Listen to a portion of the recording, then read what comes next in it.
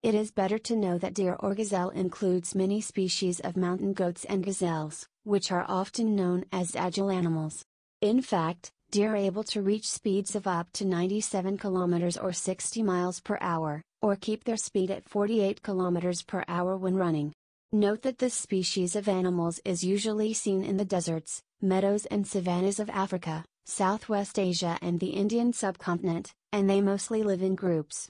It is interesting to know that deer are on the top list of the International Union for the Protection of the Environment and are regularly threatened by the reduction of their habitats due to human activities.